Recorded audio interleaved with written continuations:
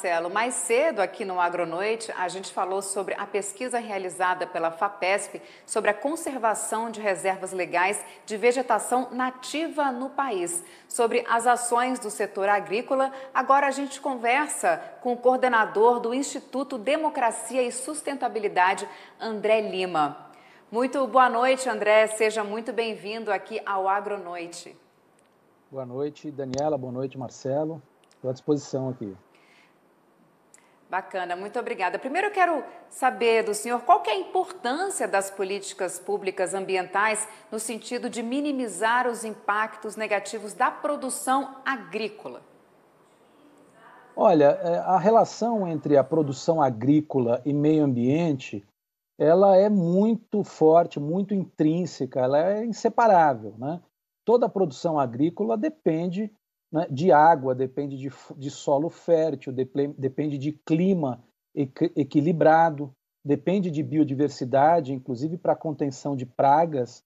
Ou seja, essa relação ela é muito forte. Então, quanto mais política ambiental convergente com política agrícola e vice-versa, melhor para o Brasil. Melhor para o Brasil por quê? Nós temos uma produção rural de alta, alta produtividade, né? O país, é o Brasil é um país do agro, mas é também um país florestal. Então esse equilíbrio é muito importante. Para haver esse equilíbrio, é muito importante ter políticas públicas federais, políticas públicas estaduais e até mesmo municipais para buscar é, é, exatamente essa sinergia entre a sustentabilidade ambiental e a sustentabilidade econômica da produção rural. Então a política ambiental está na raiz né, desse equilíbrio e a gente precisa cada vez mais aprimorar essas políticas hoje existentes. André, o Código Florestal já está aí, né? É bem claro que se deve ou não preservar. É, muitas dessas questões ainda geram polêmica, porque falam que tem algumas áreas que o produtor rural ele precisa avançar, outras não, mas existe, é como se fosse uma constituição do meio ambiente e está lá, e tem que ser preservada. Na sua opinião, o que, que pode ser reformulado do Código Florestal aí para que restabeleça esse equilíbrio que você falou de um lado e do outro? Marcelo, eu uh, tive a oportunidade de participar nesses meus 25 anos de carreira como advogado na área socioambiental eh, de pelo menos três grandes momentos de debate em torno do Código Florestal.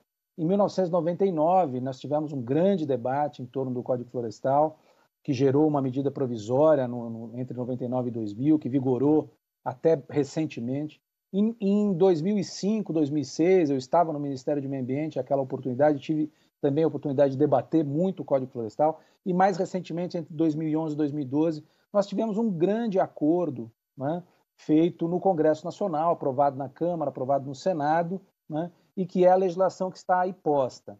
Eu diria que, nesse momento, não, não, não, não me parece apropriado falar em uh, alteração da legislação. Nós temos um grande pacto que foi feito. Né? Não ficou bom, digamos, 100% nem para os ambientalistas, nem para os produtores rurais. A gente buscou, na verdade, houve quem buscou é, um caminho do meio. Né?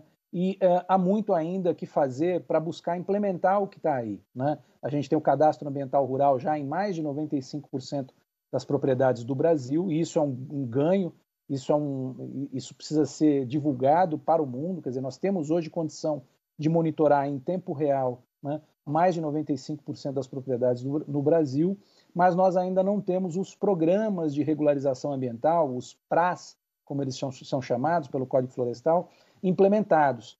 Eu acho que é importante a gente começar a implementar, né, e esse estudo da FAPESP, aí, ele mostra que, em boa medida, é possível se implementar com baixo custo, se não, inclusive, com algum ganho econômico, na medida em que a gente precisa ter também não só a lei florestal, mas uma política econômica de incentivos para a restauração agroambiental, a restauração agroflorestal, que possa ser também produtiva do ponto de vista econômico. Agora, André, além dessas regras, também, claro que existe o diálogo, que é muito importante, né? E muito se fala em sustentabilidade.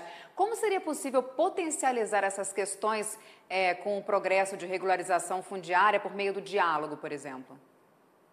Olha, esse é o grande desafio, né? Se eu soubesse assim uma resposta efetiva e pronta, é, a gente estaria é, no melhor dos mundos. Eu acho que é, a gente precisa dialogar mais, Eu acho que existe espaço para esse diálogo, embora haja sempre os extremos, né? a gente vive num momento de polarização muito extremada. Eu acho que existe hoje tecnologia tanto para disponível, acessível, tanto para melhorar a produtividade, né? inclusive reduzindo o uso de, de, de, agrotóxicos e de agroquímicos. Né? Hoje em dia se fala já num, num, num aumento, num incremento muito grande do uso de bioinsumos, né?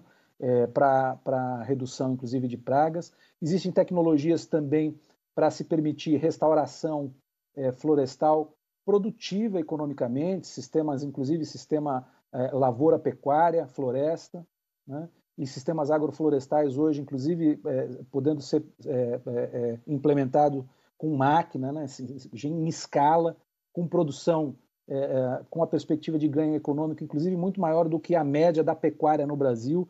E o que me chama muita atenção, por exemplo, é que em São Paulo a gente tem aí, segundo esses dados desses estudos, esse estudo recente, mais de 115 mil hectares de área de pastagem de baixíssima produtividade.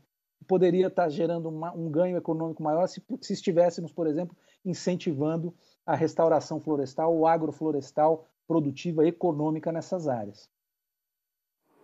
É, isso é muito importante que você falou, porque com certeza ia melhorar a economia do PIB do agronegócio. Por outro lado, essa participação é, florestal também, com as duas coisas, restabelece equilíbrio que tanto se busca e tanto se discute, né, André? É um assunto muito interessante, mas infelizmente o tempo é muito curto e a gente deve voltar ainda a falar sobre isso nas novas edições aqui. Obrigado pela sua participação aqui no Agronoite. Boa noite, André. Eu fico, Boa noite a vocês. Eu que fico à disposição, Daniela e Marcelo. Um abraço para vocês.